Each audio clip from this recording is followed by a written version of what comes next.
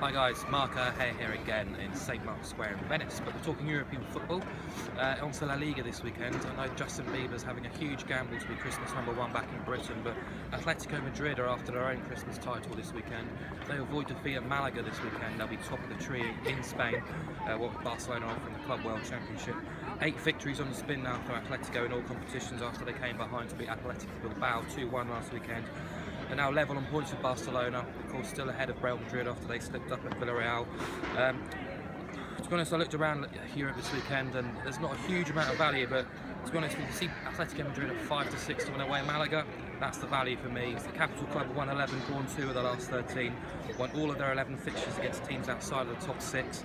Um, they face the fewest shots on target in Spain, just 40. They've leaked the fewest goals in Europe's top leagues, just 7 in 15 games. And they've scored the opening goal most often. They grind you down, they score that first goal, and they just see, game, see games out superbly. Uh, of course, they did leak against Athletic, Athletic Bilbao last weekend. It's the first in five Liga games that they've conceded. Five to six is superb value. In full season since Diego Simeone took charge, they've won 36 of 64 away games, which is what 56%, including five of their seven this season. A huge 31 of those games saw them keep clean sheets as well. They've got more than enough in their locker to go down to the Costa del, Costa del Sol and record another success as well.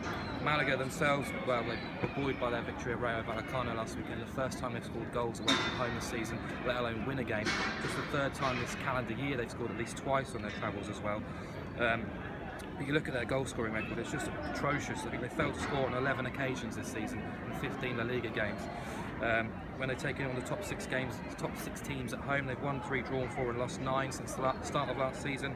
I just think they're not going to have enough in the, in the front three in the attacking mode to, to see off Atletico Madrid. And I think quotes from five to six, and what I've backed as the La Liga, La Liga champions this season, are too good to turn down. So Atletico Madrid to win this weekend is my European NAP.